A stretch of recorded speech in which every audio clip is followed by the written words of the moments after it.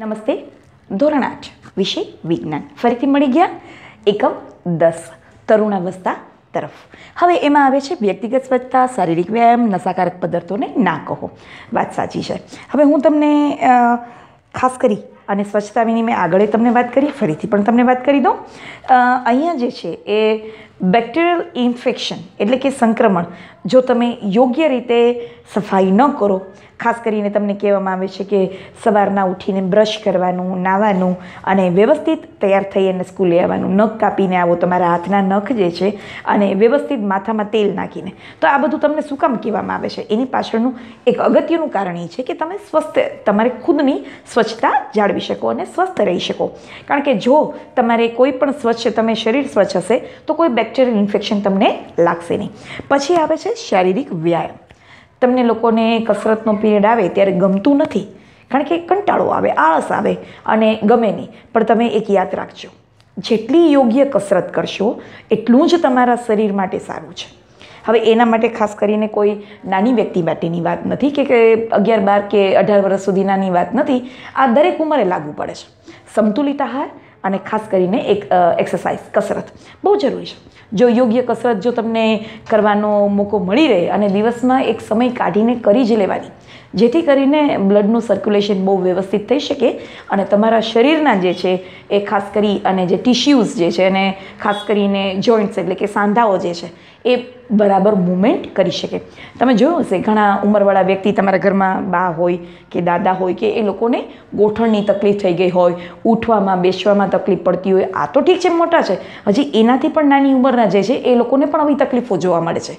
તો એનું મેઇન જે કારણ છે એ એક્સરસાઇઝ જો એ ઉંમર સુધી પહોંચીને પછી કરીએ, એની બદલે તમે નાના છો, તો અત્યારથી જ એક્સરસાઇઝ કરવા માંડો. થોડી થોડી કરો. કંટાળો આવતો હોય તો થોડું, પણ એનાથી તમને યાદશક્તિ વધશે. અને ઘણો ઘણો ફેર પડશે. કોશિશ કરજો. હવે આવે છે કે નશાકારક પદાર્થોને નાખો.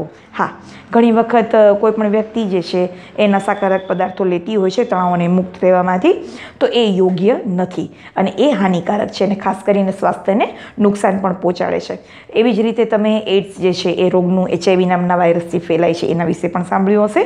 તો ખાસ કરી અને એ આવા જે ડિસીઝ છે, ખાસ કરીને જે સંક્રમણથી ફેલાય છે તો એનાથી બચતું રહેવું જોઈએ મેં આના પહેલાં વિડીયોમાં તમને કોરોના વાયરસની વાત કરી હતી. તો એ એકબીજા ડિસ્ટન્સ રાખવું જોઈએ, આપણે માસ્ક પહેરવું જોઈએ, હાથને વોશ કરવા જોઈએ. તો આ વસ્તુ જે છે, એના ઉપર ભાર તમારે દેવો પડશે. અને ખાસ કરીને ફરીથી હું તમને યાદ અપાવી દઉં, સંતુલિત આહાર લેવાનો છે. અને જેવા હવે સ્કૂલ તો હમણાં તો શરૂ નથી થઈ, પણ જ્યારે શરૂ થાય, ત્યારે સૌથી પહેલાં દૂધ પીવાનું ભૂલવાનું નહીં. સવારે ભાવે કે ન ભાવે, રિક્ષાવાળા ભાઈ આવી જાય કે આપણે ફટાફટ દૂધ પી લેવાનું. જેથી કરીને પોષક તત્વો પરફેક્ટ પ્રમાણમાં તમને મળી રહે. એટલે તમારી શારીરિક વૃદ્ધિ અને માનસિક વૃદ્ધિમાં ફાયદો થાય. એટલે ઘણી વખત પ્રશ્ન થતો હોય છે ને કે મને યાદ નથી રહેતું, મને પ્રશ્નનો જવાબની ખબર નથી પડતી, તો એ તમને ખબર પડવા માંડશે અને તમે એમાં એક્ટિવ થઈ જશો. હવે આ પાઠની અંદર આપણે શું શીખ્યા તો જરાક એકવાર ચર્ચા કરી લઈએ કે અગિયારથી ઓગણીસ વર્ષની એ તરુણાવસ્થા કહેવામાં આવે છે અને ખાસ કરી અને શરીરના અલગ અલગ ભાગોનો આમાં વિકાસ થાય છે. ઊંચાઈમાં વધારો, આકારમાં પરિવર્તન, પછી કંઠમણી જે અવાજમાં ચેન્જીસ થાય છે, છોકરાઓ અને છોકરીઓના અવાજમાં ચેન્જ થાય છે.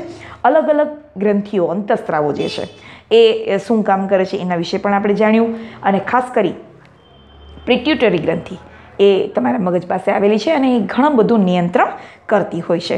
હવે પછી કીટકોમાં ને એમાં જે આપણે ચર્ચા કરી, તો એ કીટકોની અંદરમાં શું વાત કરી હતી? થાઇરોક્સિન. જે થાઇરોઇડવાળો જે છે એ સ્ત્રાવ જે એને કારણે ટેટપોલમાંથી એ શું તૈયાર થાય છે? પુખ્ત ડેટકા તરફ. પર જો આયોડિન પ્રમાણમાં ન હોય, તો એ પ્રક્રિયા થતી નથી. અને કાયંતરણ પ્રક્રિયા કોને કહેવામાં આવે છે? એ પણ તમારે યાદ કરવું પડશે. અને પછી જે છે સંતુલિત આહાર લેવો એ અને વ્યક્તિગત સ્વચ્છતાનું પાલન કરવું, આ બહુ જરૂરી છે.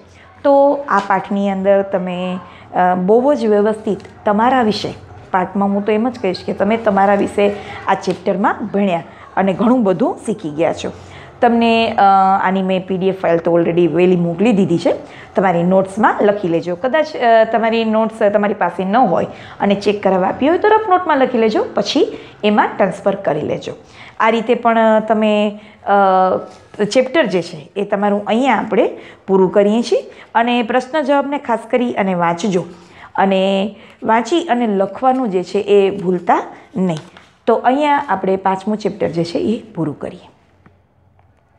સોરી પાંચમો વીડિયો પૂરો કરીએ. ચેપ્ટર તો આપણું દસ પૂરું થાય છે.